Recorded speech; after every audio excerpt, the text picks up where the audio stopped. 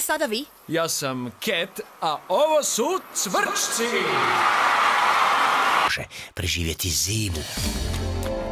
Cvrčci su u opasnosti. I baš ih ti moraš spasiti. Ne dolazi nitko. Dolazi vam jedino zima.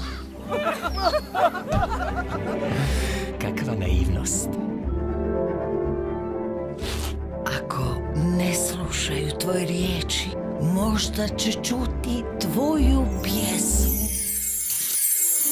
Pjevati možeš na glas da te čuju Vrijeme da stane i nestane sve Mala angažirana si.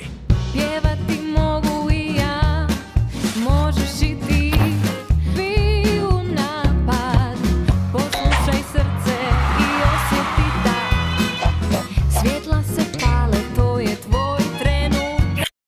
Jadnica. Još je u šoku.